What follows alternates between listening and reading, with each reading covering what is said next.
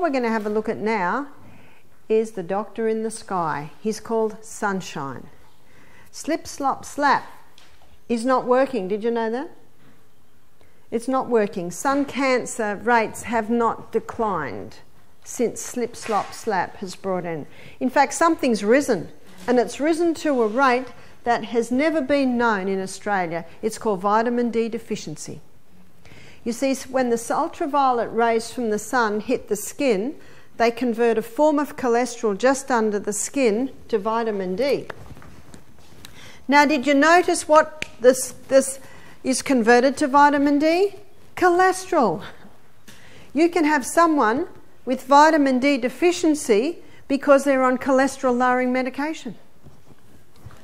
So when the sun's rays hit the skin, they convert a form of cholesterol just under the skin to vitamin D. It takes two hours for the conversion to happen. So if someone goes into a shower and washes themselves with soap straight after their exposure to sun, they will get no vitamin D. You have to wait two hours. You can lay in the sun, dive in the creek, and you won't lose it because you're not scrubbing your oil off. Vitamin D is being hailed today as the anti cancer vitamin. Research is showing that vitamin D can stop cancer cells developing and even reverse them. Now, when you consider what we looked at on Monday, the link between cancer and fungus, what does sun do to fungus? Annihilates it, totally annihilates it. Vitamin D is essential for the assimilation of calcium in the body. And calcium's got a nickname. It's called the king because when calcium gets into the body, all the other minerals piggyback on the back. If you can get calcium in, you can get all the other minerals in. And the gardener knows it. When the gardener increases the calcium in his soil, he increases all the other minerals automatically in the soil. And calcium is essential for the strong bones. And we've got an epidemic in Australia today, another epidemic, it's called osteoporosis, yeah? Osteoporosis in a land of many people on cholesterol lowering medications, not having sun exposure, not getting vitamin D, not able to get their calcium, the bones are starting to weaken, and dentists are making a fortune on people's mouths. Yeah? How much does a filling cost today? Would it be $200? And the rest? I know one lady, she went and just had a, they had a look at her teeth, no cavities, so they said, oh, we'll give it a clean while you're here, and she said, oh, all right. $158. Whew, it's, we'd look after these teeth. That's where your oil pulling is such a fantastic, easy, cheap way to keep that microbial community in your mouth at the right balance because when the community gets out of balance and the harmful microbes increase, they're the ones that actually can eat away at the enamel. But we've got to strengthen these bones too by making sure we're getting adequate vitamin D. The good news is you only need 15 minutes on your face a day to get all the vitamin D that you need for that day. But there are days where there's not a lot of sun. So my suggestion is you have a little bit more. Something interesting about vitamin D is not only do you need to not have washed your skin with soap for two hours before or two hours after to get your vitamin D, but you also need to make sure you're having that exposure. If you're in the sun for half an hour, your body stops making vitamin D and it can have a negative effect on the body being able to make vitamin D. Whoa, so overexposure and underexposure to the sun can both cause vitamin D deficiencies. And we're if the in the sun for half an hour, we usually get burnt, don't we? And if we get burnt, what's the body saying? Don't, don't stay out in it for that long. My suggestion is you do 10 minutes front, 10 minutes back, maybe a couple of times a day. And if you do that, after several days, you will start to see a lovely tanned colour come on your skin. Little by little by little, the body develops a tan, and that's the best protection against sun cancer. You've seen on the side of the road, there's that great big picture of a lady lying in the sun with a bikini on, and it says, Skin cells in trauma. I'd love to get up there with a paintbrush and write, if she's dehydrated, If she had margarine for breakfast, because it comes out as a toxic, a toxic fat on the skin and reacts with the sun and can cause damage in the skin. If she's a coffee drinker. If she's been there more than 15 minutes. See all the ifs? That's the only time they would be in trauma. But if she's well hydrated, had a nourishing breakfast, she's only been out there for 15 minutes, they're not in trauma. They're actually receiving healing.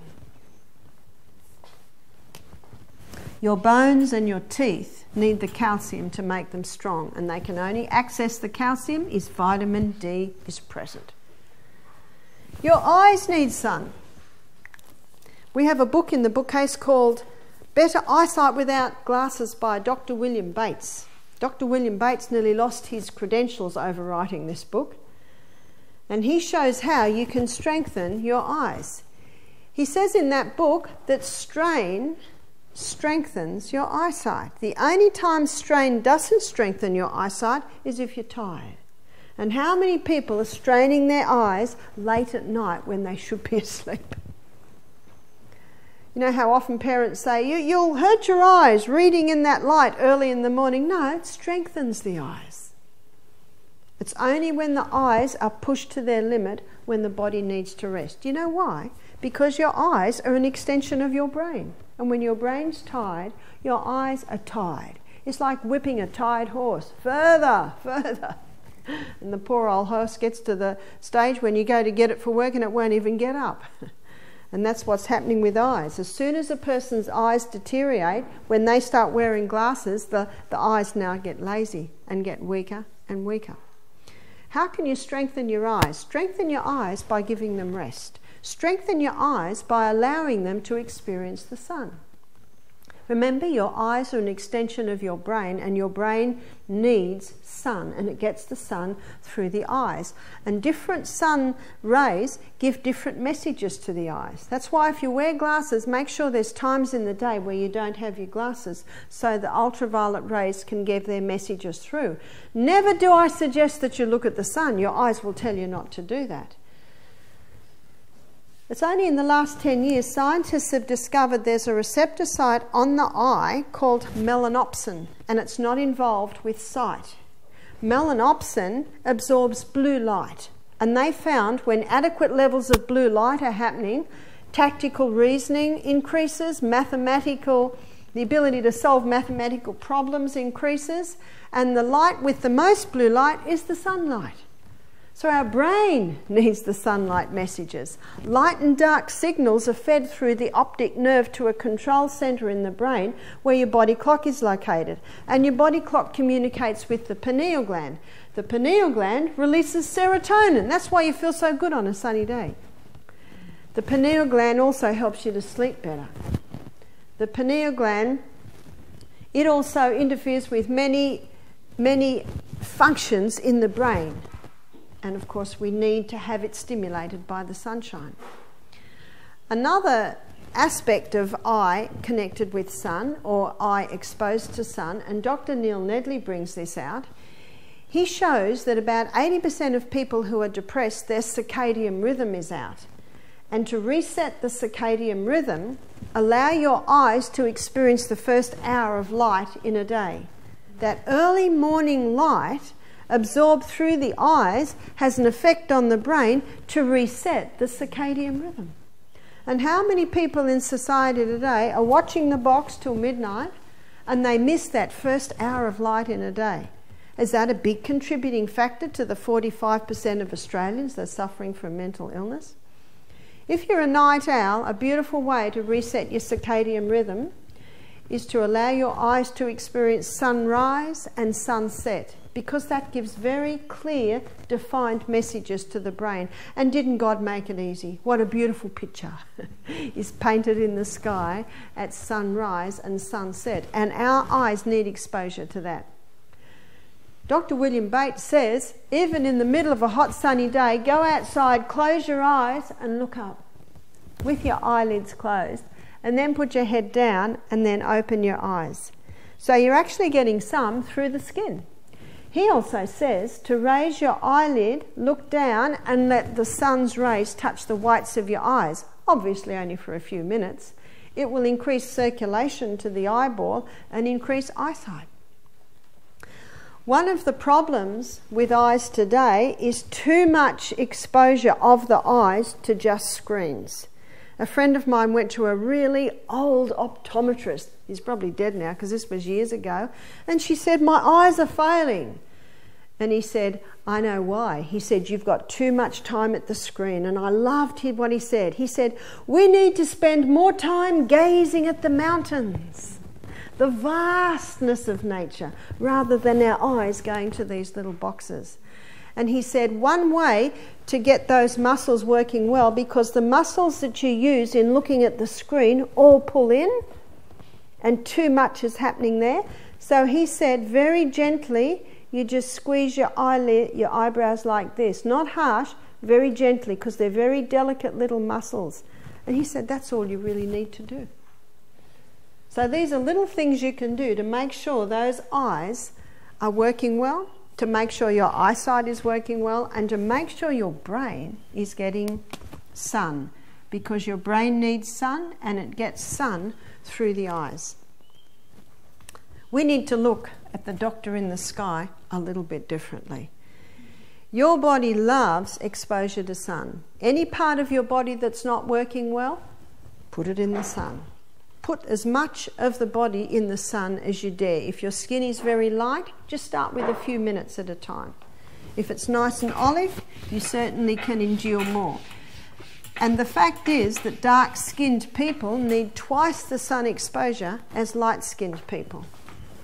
So when you do lay in the sun, make sure you've had no caffeines, make sure you're well hydrated, make sure you had a nourishing breakfast and don't lay out there for too long. Rest. Let's have a look at rest. There's a tiny little gland in the base of your brain called the pineal gland. In my 1970s anatomy and physiology book, it says there that not much is known about the pineal gland. Well, we know a lot about the pineal gland today. The pineal gland is a very important brain, sorry, part of the brain, gland in the brain, because it is responsible for releasing rest and rejuvenate hormones in the night. And the pineal gland will only release these hormones between the hours at the moment of 10 p.m. and 3 a.m. In the winter, and I think we've only got a few more weeks till daylight saving stops, then it will be 9 p.m. and 2 a.m. That's, that's your winter times because the pineal gland doesn't know about daylight saving. Light and dark signals are fed through the optic nerve to a control centre in the brain where your body clock is located, and your body clock communicates with the pineal gland. So we've got dark happening, I think, I think dark's happening about 7 p.m., would I be right at the moment? And we've got light happening about 6.15. So it's in these hours that your, are your hours of power. I call them the hours of power because it's in these hours that the pineal gland releases the hormones. Let's have a look at the hormones. One is serotonin, and serotonin is your mood hormone. What are the children like if they have a late night? They're no good, are they? That's because they didn't get their serotonin, and the parents aren't much better. I had a girlfriend who used to go to bed at midnight every night, and her children used to wake in the morning, tiptoe round the kitchen, grab a quick breakfast, and try and get out of the house before she woke up. Because she used to bite their heads off, she had no serotonin happening. Not a nice way. The kids grow up so quickly, don't they? you want them to have nice memories of home. If you want to feel great every day, all day, go to bed early and get those hours where you'll get your mood hormone. Number two is arginine vasotocin. Arginine vasotocin is a hormone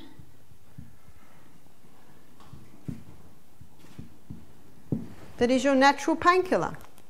If you are suffering from any type of pain, go to bed early and your natural painkiller will kick in. But it's very important and I'll make a list here of things you can do to increase the output of these hormones. If you do one hour's exercise a day, that can double the output of these hormones at night.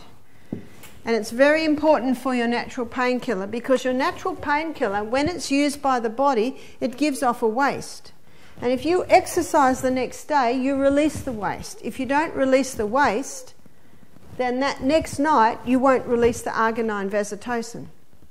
I know a few friends who are managing back pain by exercising every day, which ensures not only that their muscles and their tendon, tendons and their ligaments are, are strengthened to compensate for the injury they have, but it also causes a release of the waste from using their natural painkiller, which means every night their natural painkiller can kick in again. Arginine vasotocin also puts a person into a deep sleep. I know many people who can't sleep, so they go to bed later thinking that they'll get tighter, but the opposite's true. The earlier you go to sleep, the more likely you are to fall into a deep sleep. I had one lady come to me and she said, she said, Oh, it drives me crazy. I wake up at three o'clock every morning. It just drives me crazy. When I was, uh, oh, it must have been about a year ago, Time magazine did a whole article on sleep. And I was reading it, and it said in there, Sleeping tablets don't really do much because they're not fixing the problem and the person doesn't feel great. They're actually showing now that a lot of sleeping tablets are causing other problems. They said there's one thing that helps, and that is cognitive brain therapy, cognitive behavioural therapy. Let me explain, and I'll explain it by using this lady. When this lady heard this lecture and realized that she was getting her hours of power, I said, All you have to do now is when you wake up in the night, it's three o'clock, instead of going, Oh no, what am I going to do? Why does this happen? When you wake up at three now, you can say, This is fantastic. I've got my hours of power. I'll just doze. I'll just plan my day. That's cognitive behavioural therapy. She just changed the way that she looked at it. And because she changed the way that she looked at it, she actually started to doze back to sleep. It wasn't a deep sleep. But then, if you understand your sleeping patterns, you don't have your deep sleep there. You have your deep sleeps here. That's the sleep that's powerful. Number three is epithalamin. Epithalamin is a hormone that slows down aging. Everybody over the age of 25 likes that one. so if you want to slow down aging, go to bed early. I was reading about a 116 Russian man, and they were interviewing him as to the secrets of his longevity. And he had a couple of points. He said, I rise with the sun, I go down with the sun. And the other one was, he said, I hold anger with no man. Very important. We'll look at that on Saturday. What's the old saying? Early to bed, early to rise makes a man healthy, wealthy, and wise. When that saying was said or made, they didn't know about the pineal gland, it was just observation. Epithalamin not only slows down aging, but it increases learning capacity. We should never be out of school and we should never stop learning. And on Saturday morning, when I look at how you can make your brain younger with age, you will realize you can never stop learning. If you stop learning, you basically, brain cells start to die. We should never stop learning. So, one way to increase our learning capacity is to make sure we get these hours of power. Number four is melatonin. And melatonin is your fix and rejuvenate nighttime hormone. So basically, when you sleep in those hours, your batteries are fully charged. Many people wake with a groan in the morning, unable to get out of bed or even function without their cup of coffee because they just go to bed too late and they miss out on their hours of power. This is especially important for people who are wanting healing to happen in their body because this is when the healing powers of the body are the most effective, are the most vibrant, are the most powerful. So these hours of power must be adhered to so that you get more out of your life, more out of your day. They also very important to adhere to be adhered for for mental health, for healing in the body. Let's have a look at how you can decrease and how you can increase the output of these hormones. You'll like this one, laughter. The old proverb says, A merry heart doeth good like a medicine, but a broken spirit dries up the bones. My daughter gave me this one. She, she found it somewhere, a quote. It said, Against the on, onslaught of laughter, nothing can stand. We should laugh more. And on the other hand, worry. The old saying says, Worry is blind and cannot discern the future. Doesn't change anything, does it? If you can't sleep because you're worried about something, get up and write a solution. Write a letter or put it down on paper and then go back to bed and sleep. what can also increase the output of these hormones at night is sunshine through the day. Not only sunshine through the day, but sleeping in the dark. Because remember, my initial statement was that light and dark signals are fed through the optic nerve. So when we give it a very clear, clear messages of Sunny day, dark night, the pineal gland gets nice clear messages. So sleeping in the dark is very important. If someone leaves, needs a bit of light in the night, I suggest getting one of those little night lights that you can plug into the PowerPoint. That will not interfere with the pineal gland. It's like moonlight. So you want about the light of the moonlight. So sleeping in the dark does it. Also fasting. Because when you fast, and there's very little activity in your gastrointestinal tract, especially in your colon, tryptophan is made. And tryptophan is a key amino acid used in the production of melatonin and serotonin. That's why you sleep so much better when you go to bed with an empty tummy. Let's have a look at what decreases it. Not only worry, but artificial lights.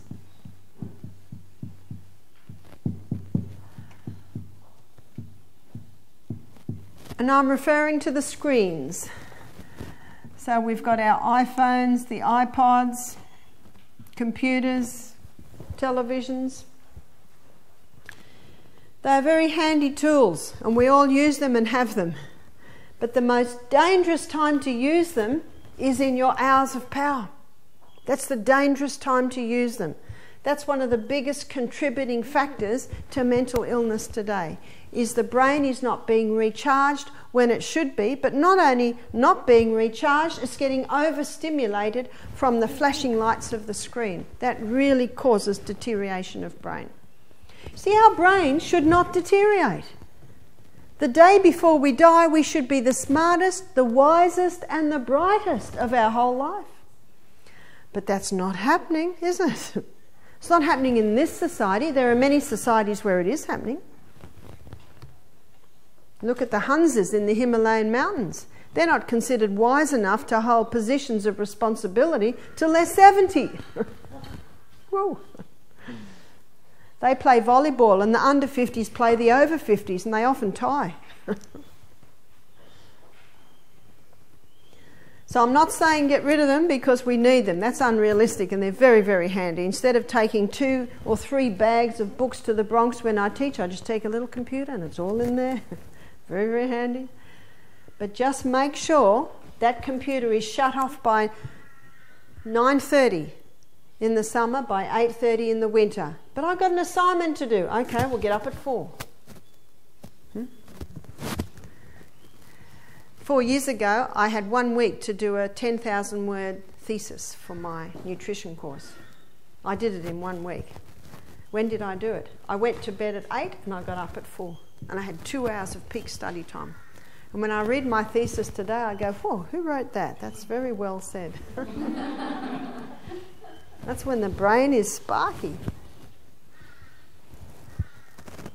So I say to parents, you, you've got to monitor this in your home with your, with your teenagers because I think it's a huge problem today. Many kids are taking their iPhones to bed under the bed covers watching videos, SMSing friends.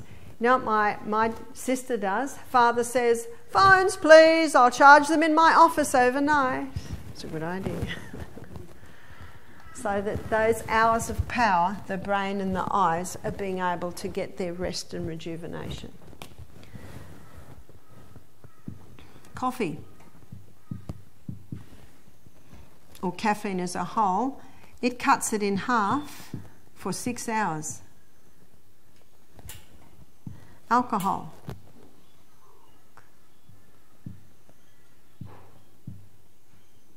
Alcohol, 41% reduction in the output of those hormones.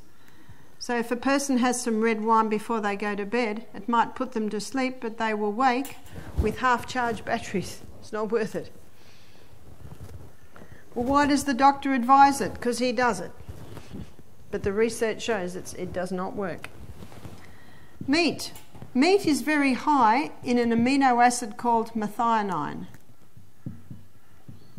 And methionine, when its levels are high, it blocks the action of tryptophan. That's why Colin Campbell, he showed in his book a 5% animal protein diet is not dangerous, but a 20% animal protein diet is, and in many ways, and this is another way where it is. Having this information, you can get more out of your day, more out of your life.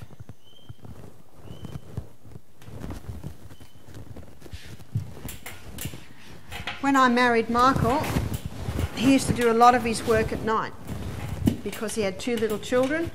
And he said, No one rings me at midnight. Well, he's discovered no one rings you at five o'clock in the morning either. And we've been married for 14 years. And for the first few years, about once a week, he'd say to me, I've got to do it. I've got to get into that office. I just got to get on top of everything. He never does it now. But a couple of times I've seen him he said, Sorry, can't walk this morning. I've got to get over in that office and put an hour in. You see, what do you remember at midnight when you're falling asleep? You don't even remember it, do you? You're far better to go to sleep and then get up early. Because remember, they're your hours of power. And if you get those hours, your batteries are recharged.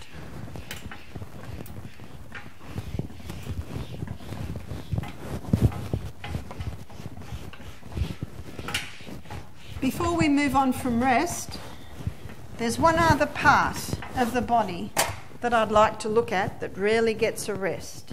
It is stomach. We have one stomach. Just to remind you of that fact, I'll put a big number one there. Because the way many people treat their stomachs, I don't think they realise they've got one stomach. Cows, sheep, Goats, they can eat all day because they've got five, maybe four, maybe three stomachs, and it just goes from one to the other. We've only got one.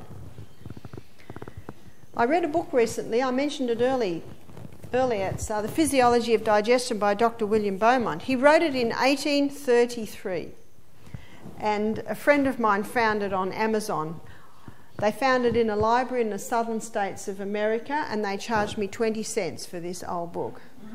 It's in the bookshelf there. I paid $20 by the time it got to me. But it's a fascinating story. I had heard of it and I've heard it referred to, but I finally got the book. It was in the late 1700s, and Alexis St. Martin, a young 18 year old man, he sustained a gunshot wound to his stomach. Dr. William Beaumont was only 25 at the time, and he was called to assess the man. And he said the man would not live long. Part of his stomach had been blown away, part of his ribs had been smashed, but the young man actually began to heal. So Dr. Beaumont took him to his home where he could tend him. What was very interesting, I found it very interesting, is about once a week a big tumour would rise up. And then it would burst and a two inch piece of rib came out. That happened five times. Notice why the body made a tumour to get rid of a piece of rib. Now, this is before antibiotics. And what Dr. Beaumont would do, he would put aloe, aloe vera, he would put myrrh. Wouldn't it be great if doctors did that today? I know some doctors to do, but not many do. But Alexis St. Martin finally totally healed, except for one thing. There was a, a little hole in his stomach. And it was like a mouth, it never actually sealed. And in the book, there's a little pencil drawing of it. So, what Dr. Beaumont did, he started to do some experiments. He would get a piece of silk thread, he would put a piece of food on it, and he would put it down into the stomach. And after an hour, he'd pull it out and look at it, put it back in, pull it out. And he did this over many years. Did you know that Alexis St. Martin lived till he was about 80? He married, had children. Every now and then, Dr. Beaumont would contact him and say, Please come and stay with me for a, a year. I'd like to do a few more experiments. I'll put your children through school. I'll give you a nice house. Dr. Beaumont found that digestion took, on an average, of three to four hours. That's how long digestion took.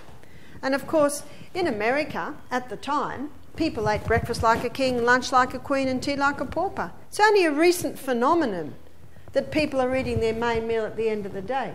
I was talking to Henry this morning, who grew up in Malaysia. He said, Oh, we always had our main meal at breakfast. It's just a recent phenomenon. And it makes no sense. Our day is a journey. Who'd fuel up their car at the end of a journey?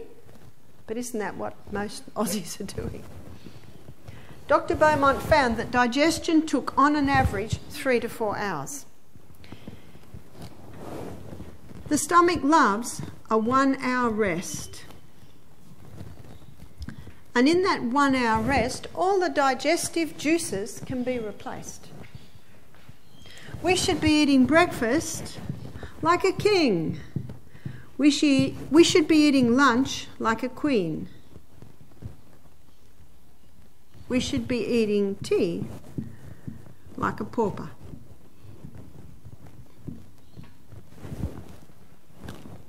The only way you can do that with five hours between the meals is to make sure that you're having high fibre in the diet, to make sure that you're having substantial protein Remember, these are the three essentials. We looked at these the other day. And sufficient fats. Most people have insufficient fats. Because these are the three foods that keep the food in the stomach longer. And the reason so many people are eating every couple of hours is they're eating high, usually refined carbohydrate, and the brain says, There's nothing in there for me, give me something else. Give me something else. And that's why I found this book so fascinating. Because he proved this that we should be eating breakfast like a queen, like queen, sorry, lunch like a queen, and tea like a pauper. But surely not the children. Well, I did. And I see a smile from Dell, who's got six children, and I'm sure you find that too. Oh, sorry, five children, sorry. Yeah. I stayed with my daughter in Tassie recently, and she went away, and I for a cup for a little bit, and I minded the little girls, three and six, and sorry, three and five they were. The cherries were on. For breakfast, we had cherries. Then we had sourdough whole grain toast with olive oil, avocado, and savoury lentils on top, and some nuts and seeds. I didn't hear from those little girls for five hours. I gave them a meal that was high in fibre. Everything had fibre. Good amounts of protein in the legumes, in the nuts, great amounts of fat in the olive oil, in the lentils, and the avocado, on the toast, and the few nuts. If I'd given them two Weet-Bix, they would have been wanting something at about 10 in the morning.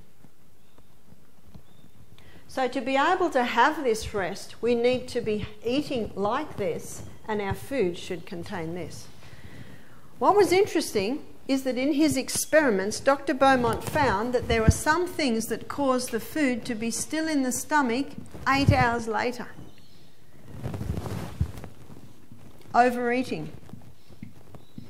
It was Dr. Beaumont that made the statement after he noticed this. He said, It's not quality of food that is of the most important, it's quantity. Now we know quality is important. But he went to the point of saying, I think quantity is even more important. You can be eating beautiful food, but if you overdo it, overburden your stomach, it can turn to poison. It can start to ferment and rot. He also found that if Alexis St. Martin ate often, so often eating, in other words, eating every few hours, if he had something two hours after breakfast and then another two hours, at the end of the day, the food was still in the stomach. You see, this pyloric sphincter's got sensors on it. And he found the food goes round and round and round and stops. And when it stops, the sensors go out. Nah, it's not broken down properly yet. Round and round and round and stops. Ah, yeah, we can start to take a few things. And then a biscuit comes in mid morning. Round and round and stops. Pyloric sphincter says, oh, there's something new in there, it's not broken down. So it will not open until the food's broken down to a certain state. And that is why the food can still be in the stomach eight hours later. I remember when I had my first little girl, Emma, and she was about 14 months old. If she got a little bit whingy or cry, I'd give her a little bowl of sultanas and she'd be happy for a while. And then an hour later, she'd be a bit whingy. I'd give her half an apple. Then she'd be happy while she's eating it, but then she'd be whingy again. And then I read a book that talked about the stomach and how we need to have that rest. So if she got a little bit whingy, I'd give her a drink, or I'd give her a cuddle, or read a book. I wouldn't do the food thing. And I'd make sure that there was more fibre, protein, and fat, because never should we overeat, because that causes other problems. Do you know, I found she was a happier child. Many children are irritable because their stomachs are just overworked and they never get a rest. And how many kids say, I'm hungry when they're actually bored? Divert them. Tell you what, I'm hungry. A helicopter lands. Oh, the hunger goes out the window. Wow, look, there's a helicopter. It's diversion. And most parents know that. If my husband says to me and we're travelling and we've still got two hours till lunch and he says, I'm hungry, I say, must be one of the body's many cries for water. Here. and I give him water. And often a hunger pang between a meal is dehydration. Our body actually needs the water. What also Dr. Beaumont found caused the stomach to hold the food longer was fear and anger he found that whenever Alexis St. Martin was upset, it seemed that the hydrochloric acid levels stopped. And do you remember what I said about drinking coffee? Tiger on the path, digestion stops because when a adrenaline crisis happens, all the energy goes to the working muscles because you've got to fight or flight. My daughter Julia works in with, well, she manages Stefano de Pieri's restaurant. She said, Mum, we've stopped coffee after the meal. Wow, in this fancy restaurant. She says, Mum's too heavy. She said, I've bought antique cups and saucers and we serve herb teas after the meal. If someone wants coffee, they'll give them coffee. But they don't actually offer coffee. If someone asks, they do. And she says, we do it because it's too heavy. Because they do the six. Actually, I was down there last week. They're doing nine courses Mind you, some of the courses are two mouthfuls. There was a pre dessert, which was an eggshell that had been washed out, and then they put like a little yellow custard in and a white yogurt, and it looks like an egg yolk, and there's about three mouthfuls in that. Julia said one day they went to get it, and the eggshell was gone. Guy just eaten the whole eggshell. But fear and anger, and that can be produced by drinking coffee. And I think we all know that when we're upset, we can't eat, can we? We cannot digest the meal. That's why I liked in one writer, she said, when we sit to dine, we should cast off care and thought, care and anger. That's why at the table, no controversial issues discussed. Should be a happy time. Even if my nine month old baby started crying at the table because something went wrong, I would quickly pick the baby up and put the baby into its room in the cot and shut the door. I never even let the baby cry at the table. And you know what the baby quickly learns? If I want to stay at that table, I've got to stop crying. it's amazing how quickly a nine month old baby will learn that.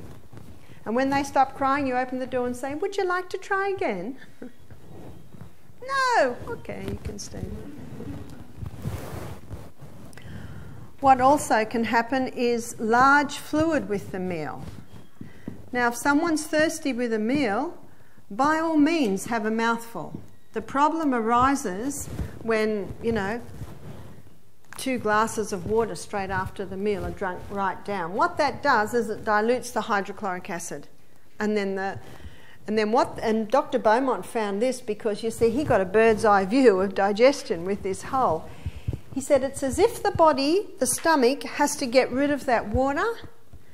So digestion stops, the fluid has to be taken out to bring the pH of the stomach back up to a high pH, and then digestion can be resumed again. The last one, number five, was alcohol. Dr. Beaumont found that when alcohol was taken with the meal, the digestion slowed right down. He found by observing those little folds, you see, it's, they were like little folds that were just at the opening. He said when alcohol was taken, he could see raw bits and even pussy bits on, on those folds, and Alexis St. Martin could feel no pain. In other words, the stomach has to bro- be broken down fairly badly before the person actually feels it. And this is why I put stomach under the rest law. Our stomach needs a rest between meals. Now, even when the stomach's empty, do you know where the food gets absorbed into the blood? Down here, down in the small intestine. So, even when the stomach's empty, you're still getting nutrients taken in. And that's why you can go five hours between a meal. And if you're hungry between a meal, have a glass of water. One day my son Peter came to me and said, Mum, the water's not doing it anymore. I looked at my watch and I said, Oh, good, it's lunchtime. And that's what you find when the water doesn't take the hunger away anymore, it's usually time to eat. We are bodies that run according to rhythm. And the whole body is a rhythmic body. And your stomach loves it when you eat at the same time every day, when you drink at the same time. It doesn't mean that you have to eat on the dot of seven every single day. You can be quarter to seven one day, quarter to past, or half past another day. What the body doesn't like is five o'clock one day, ten o'clock another day, eight o'clock another day. And of course, the odd time doesn't matter. Sometimes I have to catch an early morning plane and I have a very early breakfast. Remember, it's not the odd day you do it and the odd day you don't, it's what you do every day that has an effect on the human body. So be mindful of the stomach. Stomach's a very important organ because if you're not getting the nourishment out of that stomach, remember you've got a hollow tube, and if it can't break down the food effectively, the food can't even get into your blood to become part of you. And it is in the stomach where specifically the protein is broken down. And we've looked at the importance of protein this week. So it's very important to eat sufficient protein, very important to make sure your stomach's working well so it can break down that protein. So, stomach working well is just as important as eating the right protein. So look after stomach. And if the personal trainer says, no, no, no, you've got to eat every two hours, what you do is you just prove what works with you. One lady said, I only ever ate breakfast, lunch, and tea. And the personal trainer said, I got to eat every two hours. She said, ever since I've just had bloating and discomfort. You see, if you're having that, it's a sign. Your body's saying something's not working here. And remember, what's the definition of insanity? To do what you've always done and def- do different, res- expect different results. If it's not working, make a few adjustments. Make a few adjustments because the fine tuning is yours. You're the doctor. There is no body like yours. The good news is tomorrow we're going to spend the whole morning on food. Our first lecture tomorrow, we're going to look at the acid alkaline balance, how to keep that balance in the body, and the second part of the lecture, we're going to have a look at fats. I call the lecture Fantastic Fats. Thank you for your attention this morning. Thank you.